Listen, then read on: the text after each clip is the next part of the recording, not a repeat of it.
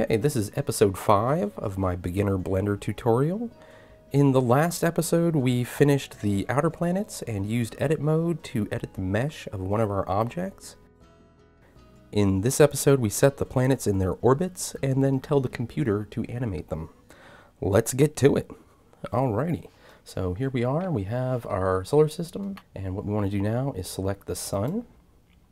Then you're going to hit period on the keyboard just to center up on that. And we need to uh, now move the 3D cursor to the center. So that's going to be Shift S to bring up that menu.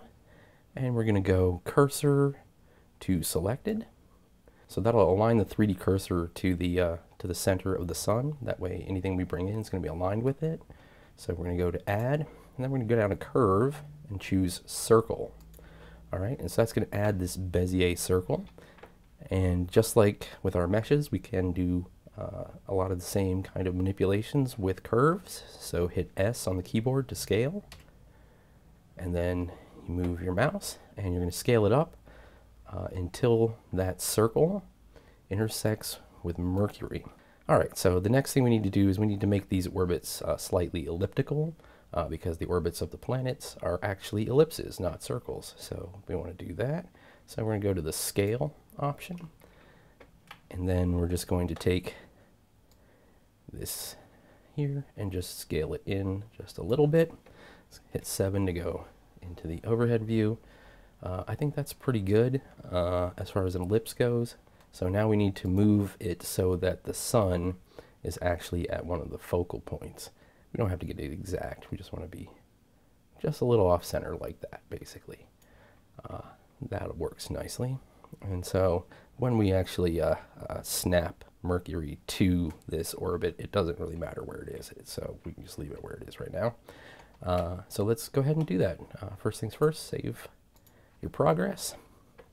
And now what we want to do is we want to actually set Mercury onto the path of this orbit that we have created. So select Mercury and you're going to go down and you're going to choose the constraints uh, options. Go up to add object constraint and choose follow path.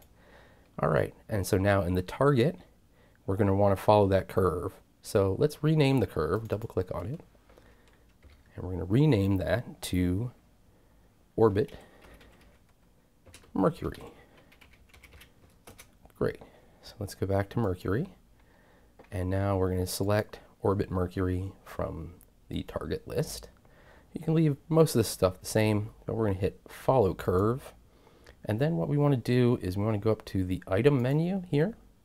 Uh, click on that item menu, and we want to zero out its location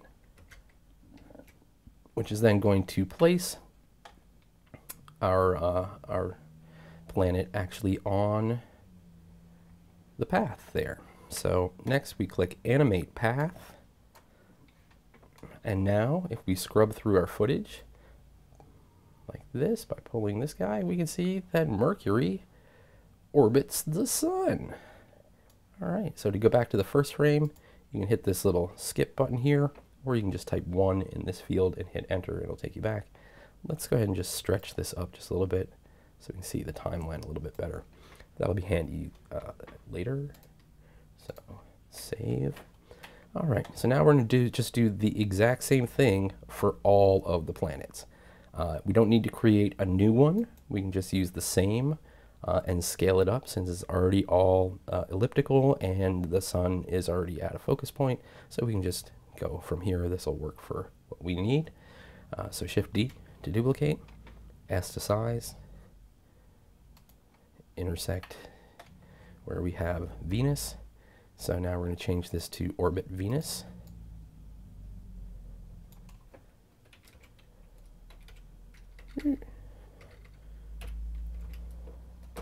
Sweet. All right, so now we just do the same stuff. Uh, select Venus, add object constraint, follow path, target, orbit Venus. Follow curve, animate path. Uh, it says path is already animated, but uh, I always just go ahead and hit that just in case, just in case. Uh, and then we want to zero out the location. And now do that for all of the planets. I'm going to speed up the video at this point.